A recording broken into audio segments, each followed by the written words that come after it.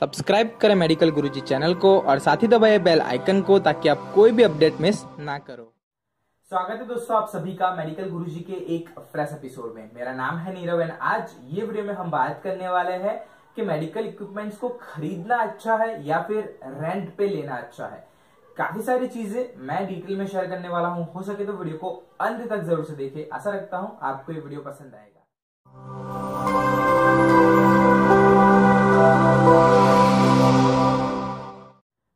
यहाँ पे आज की जो एरा में हम जी रहे हैं उसमें काफ़ी सारे लोगों को अपनी रूटीन लाइफ में मेडिकल इक्विपमेंट्स की ज़रूरत पड़ती है। जैसे कि मॉनिटर है ऑक्सीजन कॉन्सेंट्रेटर है सीपैप है बाईपैप है।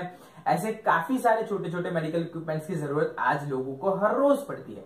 तो अब ऐसे में जब आ, आप भी ऐसी कोई सिचुएशन में आते हो तो दो रास्ते आपके सामने खुलते हैं। एक आप इधर मशीन खरीदे या फिर आप उसे रेंट पे ले। तो अब ये दो ऑप्शन जो है, उसमें से आपके लिए बेहतर ऑप्शन कौन सा है? यही टॉपिक पे आज ये वीडियो बना रहा हूँ। काफ़ी सारी इन्फॉर्मेशन शेयर करूँगा।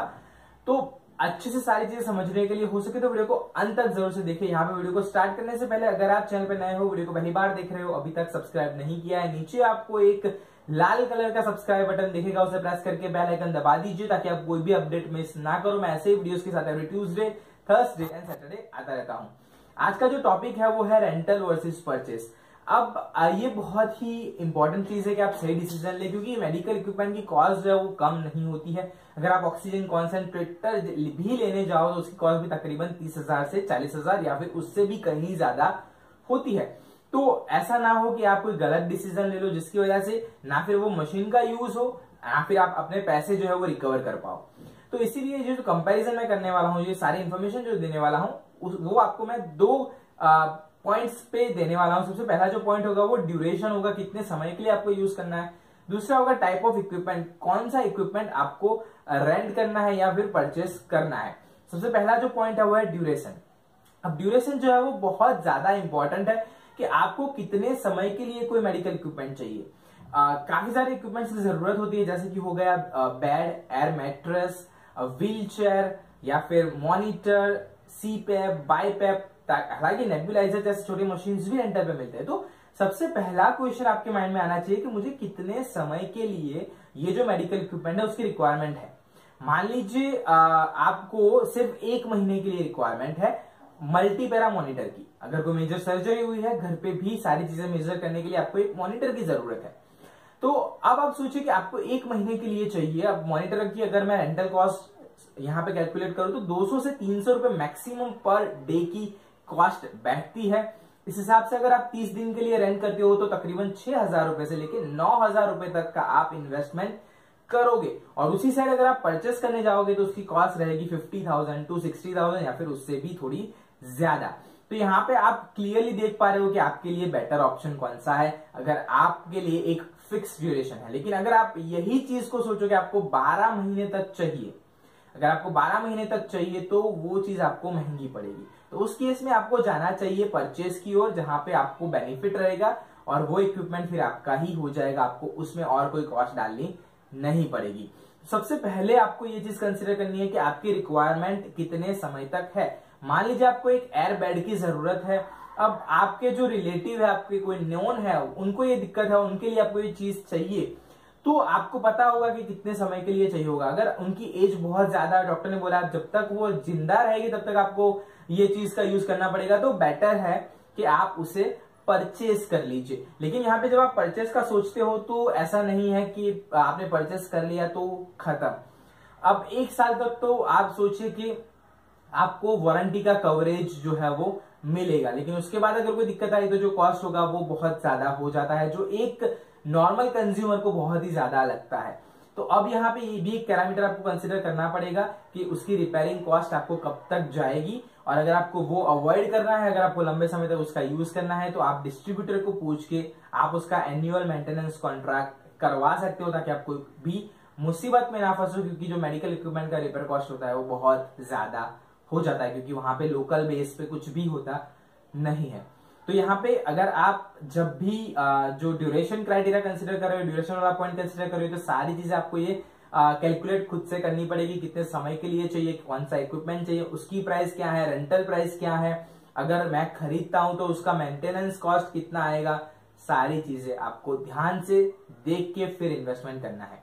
अब हम स्विच करते हैं दूसरे पॉइंट पे, जो बहुत ज़्यादा इंपॉर्टेंट है टाइप ऑफ़ इक्विपमेंट अभी बहुत ज़्यादा इंपॉर्टेंट है। मान लीजिए आपको एयरबेड खरीदना है। उसकी क्वालिटी इतनी खराब नहीं होती है। वो आप क्लीन करके इजीली यूज़ कर पाओगे। लेकिन मशीन्स हो गए, जैसे कि सीपेप है पाइपेप है ऑक्सीजन कॉन्सेंट्रेटर है उनकी क्वालिटी थोड़ी खराब हो सकती है, वो गंदे हो सकते हैं। तो उस केसेस में क्या होगा कि पेशेंट को इतनी रिलीफ नहीं मिलेगी। तो उस केस में क्या करना चाहिए? मान लीजिए आपको ऑक्सीजन कॉन्सेंट्रेटर की ज़रूरत है सिर्फ़ एक महीने के लिए, लेकिन आपको जो मशीन मिला है वो इतना प्रॉपर नहीं है। तो क्या करेंगे? अब दोस्तों, यहाँ पे आपको सबसे पहले ये ढूंढना है कि उसका क्या कोई अल्टरनेटिव है। अगर ऑक्सीजन कॉन्सेंट्रेटर आप ढूंढ रहे हो तो उसका अल्टरनेटिव स्टैंडर्ड अल्टरनेटिव अवेलेबल है, जो है आप ऑक्सीजन सिलेंडर खरीद सकते हो। अब वो भी आपको नहीं करना है तो आप दूसरे डिस्ट्रीब्यूटर को ढूंढिए। ये काफ़ी सारा बड़ा मार्केट है, आपको दूसरा डिस्ट्रीब्यूटर मिलेगा। उसकी क्वालिटी एक बार देख लीजिए। आप दो दिन, तीन दिन, पाँच दिन यूज़ कीजिएगा, आपको कोई रिलीफ नहीं मिल रहा है। अब सिचुएशन ऐसी है कि ना आप ड्यूरेशन कंसिडर कर सकते हो, अब रिलीफ क्विक चाहिए जो नहीं मिल रही है। तब इमरजेंसी केस में तो परचेस ही बेटर ऑप्शन रहता है, लेकिन आप ढूंढिए, काफ़ी सारे डिस्ट्रीब्यूटर्स होते हैं, आपको कहीं ना कहीं से बेहतर क्वालिटी का मशीन जो है वो मिल जाएगा। लेकिन यहाँ पे जब भी आप कोई रेंटल मशीन खरीदते हो या यूज़ करते हो तो यूज़ करने से पहले आप उसे एक प्रॉपर क्लीनिंग दीजिए।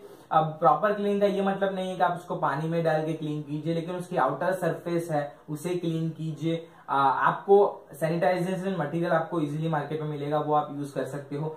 और प्लस आप जो भी डिस्पोजेबल्स यूज़ करते हो, जैसे कि ऑक्सीजन कॉन्सेंट्रेटर में आप ट्यूबिंग के साथ जो यहाँ पे लगाते हो तो वो चीज़ जो है वो एटलीस्ट वो नई होनी चाहिए ट्यूबिंग के साथ मास्क जो है वो नया होना चाहिए, क्योंकि वो अगर पुराना होगा तो भी इन्फेक्शन के चांसेस रहते हैं। तो ये सारी चीज़ों का आपको ध्यान रखना है। बेटर ऑप्शन हमेशा आपके लिए आपको चूज़ करना है कि ड्यूरेशन कितनी है।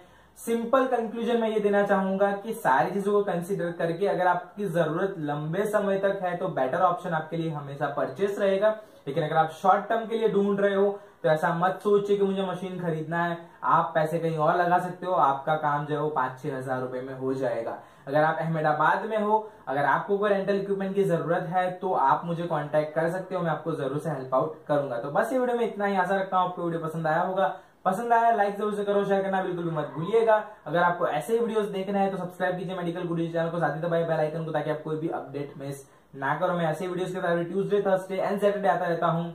अगर आपके माइंड में कोई सवाल है तो कमेंट सेक्शन आपके लिए मैं वहाँ पे आपसे बात करूँगा। जल्दी एक फ्रेश कंटेंट के साथ आपसे मुलाकात होगी, तब तक के लिए जय हिंद। वंदे मातरम।